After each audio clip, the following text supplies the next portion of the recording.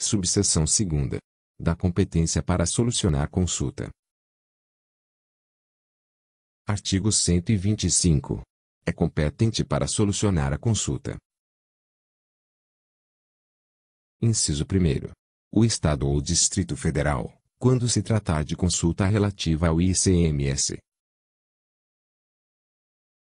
Inciso 2. O município ou Distrito Federal, quando se tratar de consulta relativa ao ISS. Inciso 3. O Estado de Pernambuco, quando se tratar de consulta relativa ao ISS exigido no âmbito do Distrito Estadual de Fernando de Noronha. Inciso 4. A RFB, nos demais casos. Parágrafo 1. A consulta formalizada perante ente não competente para solucioná-la será declarada ineficaz. Parágrafo 2.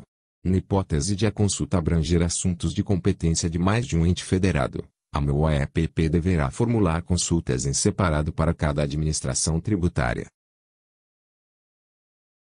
Parágrafo 3. No caso de descumprimento do disposto no parágrafo 2, a administração tributária que receber a consulta declarará ineficácia relativamente à matéria sobre a qual não exerça competência.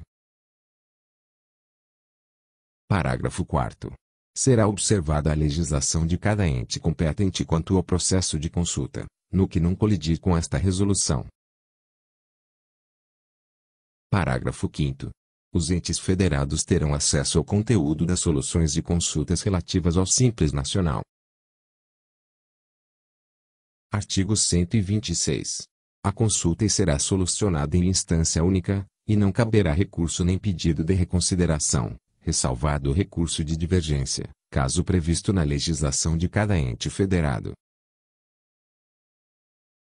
Subseção 3 dos efeitos da consulta. Artigo 127. Os efeitos da consulta eficaz, formulada antes do prazo legal para recolhimento de tributo, dar-se-ão de acordo com o estabelecido pela legislação dos respectivos entes federados,